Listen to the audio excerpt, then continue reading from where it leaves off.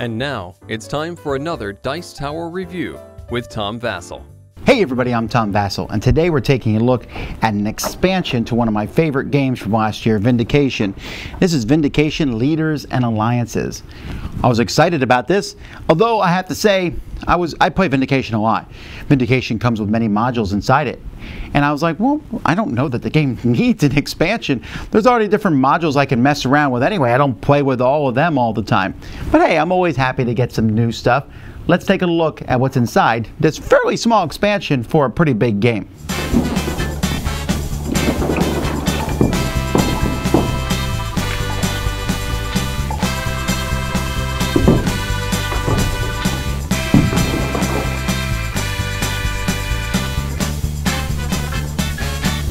So first we had some replacement stuff. So in the original set we have uh, regular Academy, or at least there was a misprint. There was not two points on the Academy, so now you get one that there is. So out. Uh, the dice have been replaced too. Uh, so the resource die, first of all, the new die is nice and rounded, I guess, and other than that, they're pretty much the same. The symbols are slightly smaller, but it's rounded. But also it mentions it's times two or times one, which is just an easy way to remember how many of that resource you get.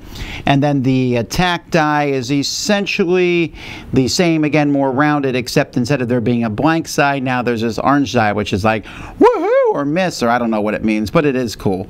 Um, and it's easy to tell the difference between that and the exhausted side. So th these are nice and they're new additions. The game also comes with, for each of the colors, comes with two character tokens now, and this is the the scum and this is the vindicated version and that's to replace the the tokens that you already have which was kind of like a boring token anyway. This is good. Uh, I don't want to use, the game comes with this nice insert to hold all this. I don't want to use all that, so I'm going to have to try to figure out how to fit all this stuff in the base game. But I do like using these. It's just easier to see them on the board. There's a few new tiles. Uh, this one is really interesting, the White Raven. Essentially, you can retire people that you have companions. You don't lose con, con, you know, honor for doing that. In fact, you get three honor for each one that retires.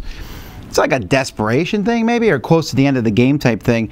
This is desperation. You get a whole extra turn, but you have to basically dilute three or take three of your tokens and put them down into potential.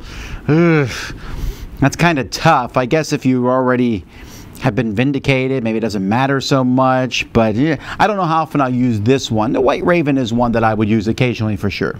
Also some new cards here, a few traits. I especially like humility, where someone has more honor than you. You can augment a potential to an influence. There's Tick-Tock, the Gleaming. Uh, we have a few more companions.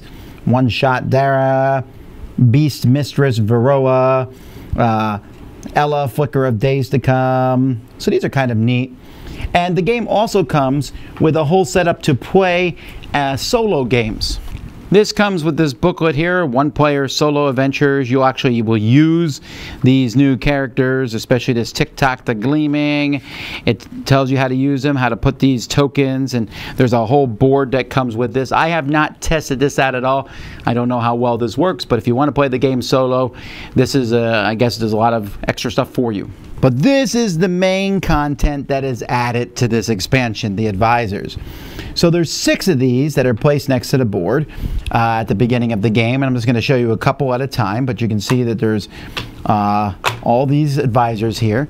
And on the scoring track, you as a group decide where to put this token, and when your scoring token passes this, each player gets three of these. And you place that one on your own color. So if I'm purple, I'd place it on Voana, Fellowship of the Light. However, as a free action now on future turns, I can use yellow, red or blue cubes to move up one on this track or any other track starting at the bottom on the other tracks. Or I can pay orange, green, or purple to move up two on these. Another thing you can do, once per turn, you can take one of these and move it down one or two on that track, which could cause it to come off the track, to take the special abilities of these. You think these are cool special abilities? Let me show you. So Voana lets you visit a spot and not require adjacency.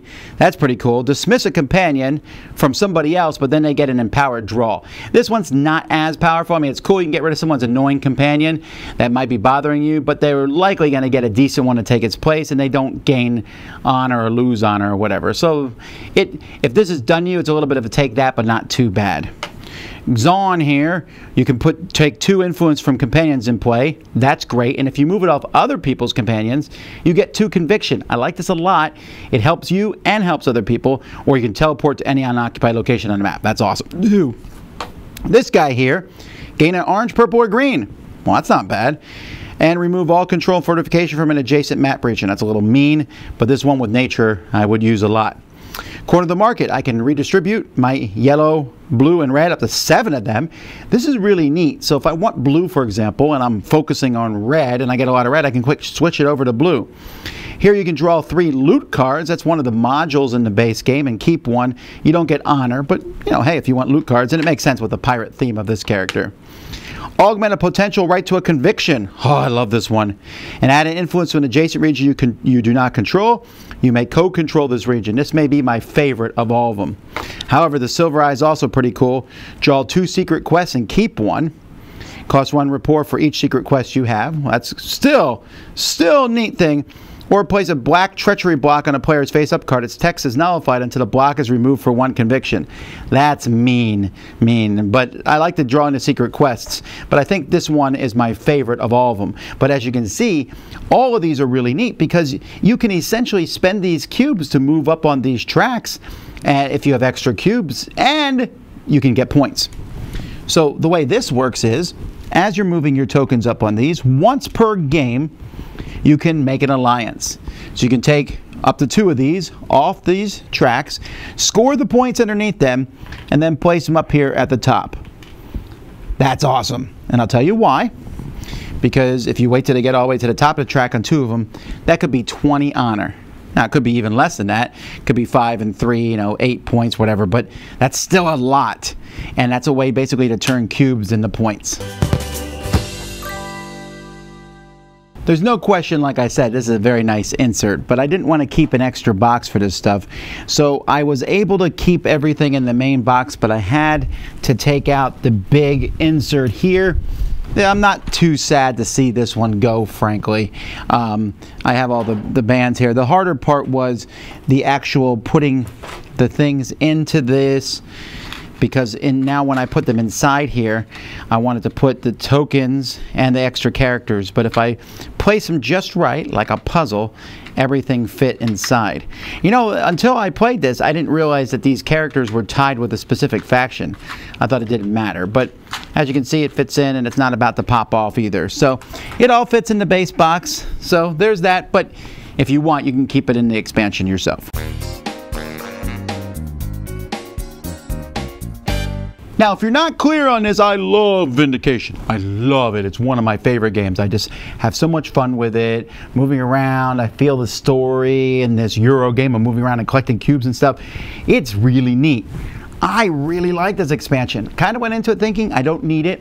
Now, granted, the new dice, some of the new stuff, the solo, the solo stuff doesn't really pertain to me. I like playing the game with other people. But I mean, I'm glad that's in there. But the main content for me are these leaders, and they're really neat. They're very powerful. They certainly change up the game. They give you a wealth of, of, in, of, interaction. So I've actually tested this with new people who never played before, and they were able to handle this, but there's a lot going on. Having these six leaders there, each with two abilities that can be used, that's 12 abilities. So I, I kind of wish the game had come with a reference card that told you all those abilities. Otherwise, you're kind of having to pass the leaders around to look at. I feel like that was a miss here. The reference cards would have been pretty handy. But still, having these leaders, if you have extra cubes or something, you can funnel it right into these and then use one of these each round and teleportation, uh, extra, there's a little bit of attacking in these, ways to get extra points. It's, it adds some solid thing and the component quality is high. The rest of it's window dressing. 100% this is not an expansion I would say you need. I just wouldn't. The game's fine as is. However, I do like playing with the leaders a lot, and what I think is they offer another option to do things with. When I play Vindication, I like playing with the one of the, some of the modules that give you extra options, but I don't always play with them because I don't want to overwhelm people I'm playing with. I feel the same way with this. This is yet another option, but it's a solid option, and of, I like it better than any of the modules that are in Vindication so far.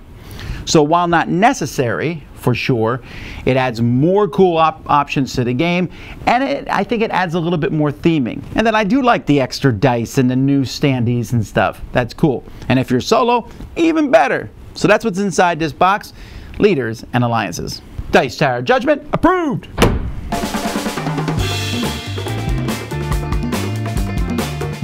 Thanks so much for watching another Dice Tower video. If you enjoy our videos, subscribe to the channel for more fun, comprehensive board game coverage. Also, consider joining us at one of our events. Come to Dice Tower Retreat, a small, intimate gathering where gaming is king. Join us for Dice Tower Cruise, the largest board game cruise. Attend Dice Tower West in Las Vegas for gaming fun on the West Coast, or Dice Tower East in Orlando, in sunny Florida. Dice Tower Conventions, the friendliest gaming conventions on Earth. I'm Eric Summerer, and you've been watching The Dice Tower.